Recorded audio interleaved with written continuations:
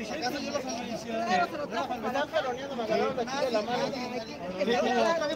lo vimos, está grabado, señor. Son todos con las manos arriba para que quede claro que no estamos en hostilidad con la policía. Un servidor público sí puede ser fotografiado porque es público. Todos con las manos arriba para que vean que no hay hostilidad. Todos con las manos arriba. No hay hostilidad hacia la Secretaría de Seguridad de la Ciudad de México. Solamente ejerzamos nuestro derecho a expresarnos y a circular en una calle pública, en una calle federal. Como ciudadanos mexicanos a eso tenemos derecho. Reservamos ese derecho. Que se acercaron esos oficiales de policía y me dijeron, acompáñanos, ven a platicar con nosotros. Y yo dije, no, no tengo nada que platicar en lo oscurito con ustedes. ¿Por qué quieren? ¿Cuál es la razón por la que quieren que me vaya allá ustedes? Me dijeron a cinco metros de aquí a platicar en privado. Le dije, sabemos lo que hicieron el domingo pasado, que cometieron brutalidad policíaca en contra de varios compañeros y compañeras. Lo que tenga que decir, simplemente dígalo aquí enfrente de todos los compañeros, compañeras, hermanos y hermanas que estamos presentes. Aquí no hay nada que ocultar. Nosotros somos transparentes y hemos mantenido una lucha pacífica. Entonces, el oficial se rehusó a dar una razón, se rehusó y simplemente me estuvieron jaloneando y diciendo, vente para acá, vente para acá. Y sabemos y tenemos el antecedente de lo que sucedió el domingo pasado. Entonces, lo que se tenga que hablar, que se hable aquí enfrente de nosotros. Somos, somos pacíficos, tenemos una lucha transparente. ¿Por qué no lo quieren decir? ¿Me quieren llevar allá para después detenerme? ¿O cuál es la razón? Lo único que estábamos preguntando, ¿cuál es la razón? hay- hay- supuestamente, eh, ya hablaron el oficial, hablamos ahorita, y ellos me dicen que supuestamente tomaste unas fotografías a un extranjero.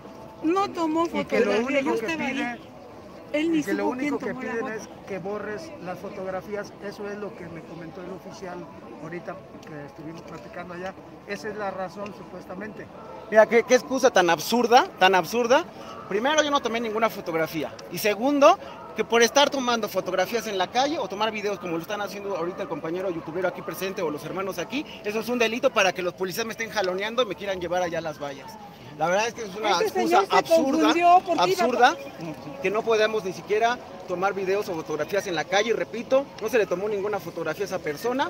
Esa persona, nada más lo único que le preguntamos es, oye, ¿tú de dónde vienes? Porque traía un gafete que decía prensa.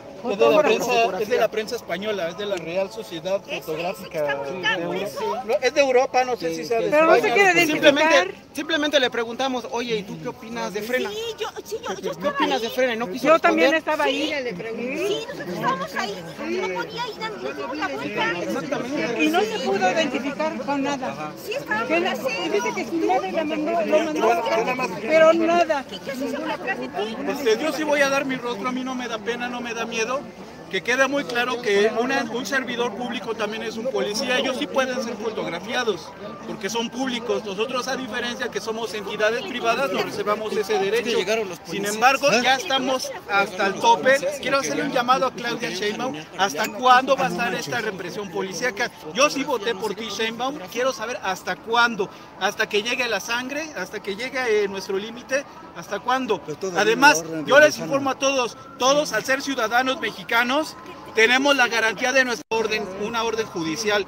No tengamos miedo, no nos dejemos intimidar por la policía. Nuestras leyes, tanto federales como de la Ciudad de México, nos respaldan. Pueden tomar fotografías a los policías y podemos defendernos ante el sus problema, embates. el problema fue con, con ese periodista o fue con Frena, o sea, porque me Es una, es una excusa, es una excusa absurda, absurda que me estén jaloneando los elementos policíacos y llevarme allá en privado por supuestamente tomar una fotografía a ese fotógrafo. Quiero aclarar que muchas veces nosotros hemos sido agredidos por gente de frena que viene disfrazada o de ciudadanos o viene disfrazada de defensores de derechos humanos o viene disfrazada incluso de fotógrafos.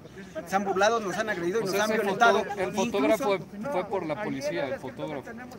no Sí, sabe- fue, él fue por la policía trayendo. Ahí está con la policía, mismo esa persona alta que tiene cubrebocas de color negro, que, tiene el pelo canoso, esa es la persona que está acusando de que por tomarle una fotografía es, es razón suficiente para llevarme allá a las vallas y discutir. Es una excusa absurda. Ahora te van a acusar supuestamente por tomar una fotografía y te jalonean los policías y te quieren llevar allá. Es una ridiculez, es un absurdo. Es un pendejo. Si tenemos que protegernos entre Yo no tomé ninguna fotografía. No tomó ninguna fotografía. Yo vi allí estaba- yo- y reservarnos nuestro derecho a la trampas que fotografiado, nos que no lo hice, Repito, nos han agredido muchas veces los elementos de frena. Entonces, simplemente a veces tomamos Y nos reservamos nuestro derecho a guardar como silencio método hasta de que un abogado, un representante. Legal Y si ahora por tomar una nos fotografía nos van a jalar los No policías, que nos van a llevar a las vallas, simplemente levantar las manos en esta posición absurdo, y que sea una resistencia pacífica como ha sido de nuestra parte hasta Ha fecha. muchas veces cuando La, la brutalidad ha venido para de esas personas y de sus infiltrados internacionales. Así es, nacionales. Claro que sí, no, no cierto. quede bien No, claro claro. para que los Estamos en nuestro derecho por medio de la fuerza de manejar esta y a la calle. porque son nuestras. no, me estaban jaloneando, no se ve, pero sí me estaban jaloneando los compañeros, los hermanos, hermanas No que me- ayudaron para zafarme y los policías me estaban apuntando aquí del brazo.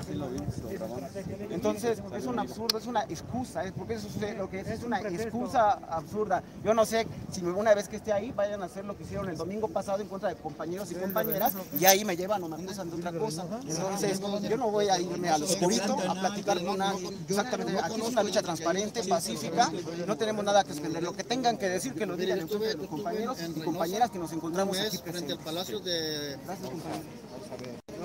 Desde aquí. No sé qué. Al parecer ustedes me escucharon, pero no. No me quiero acercar mucho porque no sé. ¿Ustedes escucharon qué fue lo que pasó? ¿Cómo? ¿Qué, fue lo que pasó?